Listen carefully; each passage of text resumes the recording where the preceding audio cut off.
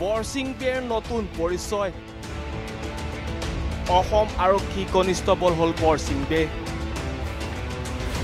সাহসী বৰছিঙক মুখ্যমন্ত্ৰীয়ে দিলে নিযুক্তি পত্ৰ। মুখ্যমন্ত্ৰী ডক্টৰ হিমন্ত বিশ্ব শৰ্মাই শাসনভাৰ লোৱাৰে পৰা ৰাজ্যত আৰম্ভ হৈছিল ড্ৰাগছ বিৰোধী তীব্ৰ অভিযান। বিগত পঞ্চল্লিছ দিনত অসম আৰক্ষীয়ে জব্দ কৰিলে প্ৰায় এশ পঁয়ত্ৰিছ কোটি টকাৰ মূল্যৰ ড্ৰাগছ। ৰাজ্যৰ বিভিন্ন স্থানৰ দৰে কাৰ্বি আলঙতো চলিছিল ড্ৰাগছ বিৰোধী অভিযান। একৈছ জুনৰ নিশা ইম্ফলৰ পৰা গুৱাহাটী অভিমুখী নৈশৰ বাছত বৰছিংবে তালাচী চলাই জব্দ কৰিছিল প্ৰায় বাৰ কোটি টকাৰ ড্ৰাগছ। সেই ড্ৰাগছ সৰবৰাহকাৰী চক্ৰটোৱে বৰছিঙক লোক দেখুৱাই দিছিল লাখ লাখ টকা। কিন্তু বৰছিঙৰ সততাৰ ওচৰত হাৰ মানিছিল সৰবৰাহকাৰী আৰু তাৰ পিছতে ৰাজ্যজুৰি হৈছিল বৰছিঙৰ প্ৰশংসাৰ যাৰ বাবে অসম চৰকাৰৰ কেবিনেটত সিদ্ধান্ত হৈছিল সাহসী বৰছিং বেগ কনিষ্টবল হিচাপে নিযুক্তি দিয়া হ'ব। আৰু সেই কথা আজি হ'ল কাৰ্যকৰী ৰূপ।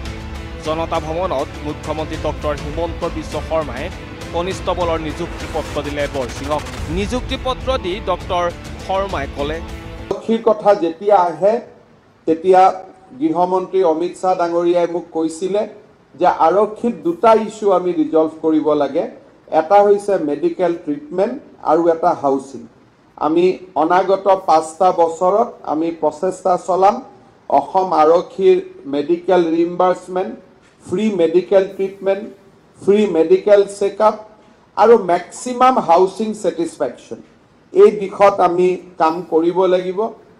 আমি চেষ্টা কৰিম যে অহা কেবিনেট বা another next one or two cabinet আমাৰ প্ৰত্যেক সপ্তাহত হয়।